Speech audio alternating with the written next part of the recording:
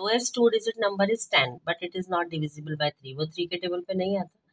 Second is eleven वो भी three के टेबल नहीं आता।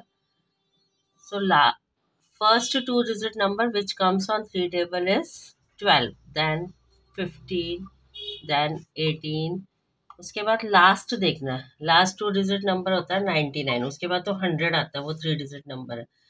तो आपको फ़र्स्ट नंबर मिल गया A is equal to twelve D मिल गया कंजिक्यूटिव नंबर का difference fifteen minus twelve that is three and A N you got ninety nine last term is ninety nine अब आपको एन निकालना है। ए एन का formula होता है A plus N minus one into D A N है ninety nine ए है twelve and you have to calculate minus 1 d is 3 99 minus 12 is equal to n minus 1 into 3 99 minus 12 it will come 87 is equal to n minus 1 into 3 n minus 1 will come 87 over 3 3 2s are 6 3 9s are 27 n minus 1 is equal to 29 and will come 29 plus 1 that is 30 so, how many two digit numbers are divisible by 3? So, 30 two digit numbers are divisible by